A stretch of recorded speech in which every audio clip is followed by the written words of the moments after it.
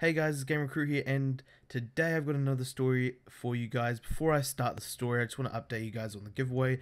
So, right now, there's a lot of people have entered. If you have not entered, I'll put the link down in the description below.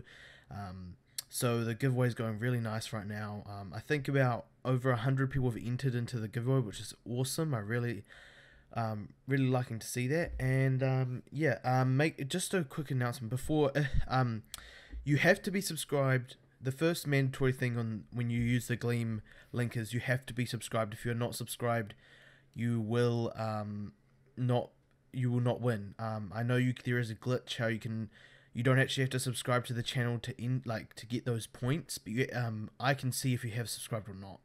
So don't try you, you use that glitch to not subscribe because that's like one you only have to subscribe you don't have to follow me on twitter you don't have to retweet my tweets you only have to do that if you want more entries but the ma- the mandatory um thing to enter is to subscribe to me on my youtube channel that's all you have to do that's the only mandatory one i want you to do everything else is your choice if you want more more entries into the giveaway anyway let's get on to the story and so um this happened around five years ago. I guess I was same age. Like, uh, yeah, probably when I was eleven, maybe or twelve.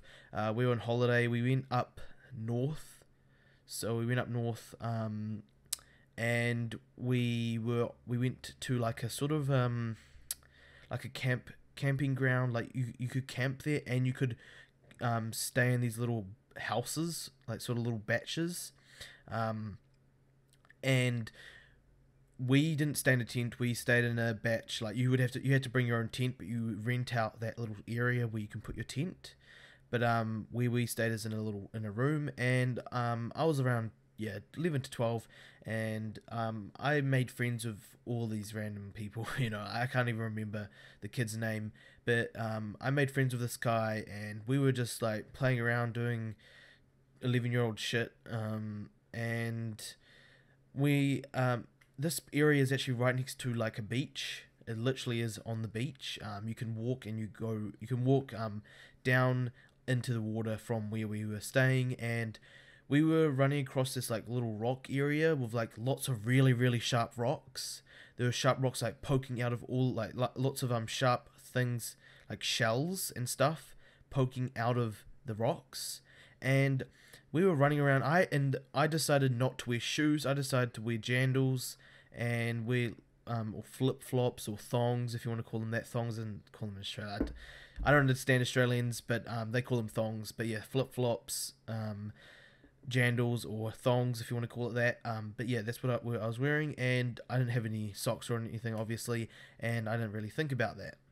But anyway, we were running through the rocks and stuff, um, and I ran straight through a really sharp rock, and I didn't even feel it. Um, after like two minutes later, my friend, the kid, was like, "Oh, there's blood coming gushing out of your uh, ankle." I'm like, "What the hell?" Because it was so sharp, I couldn't even feel it happening. And I looked down, and there was just blood going everywhere. And I like it didn't even hurt until like I knew it was there. It started hurting. It was really weird until until I actually saw it there. It actually started hurting. But anyway, it was like really uh, stinged, and it was like a really big gash into in my ankle. I still have a scar to this day from it. Um, but anyway, um, my friend helped me. I had to like hop all the way back. Um, blood going everywhere. Like I left a huge trail of blood, pretty much. Um, I didn't faint or anything. I'm not like one of those people that faint to blood or anything. I don't think I didn't lose enough blood to actually make me like faint or anything like that or pass out. But um, I lost a good amount of blood when we got there. We cut my mum got some bandages and like bandaged it up just to so blood couldn't come out. So we had to go to the nearest hospital, which was quite far away, and it wasn't like a big hospital because we weren't really in a city like close to a really big. We are like in a town, like a small town.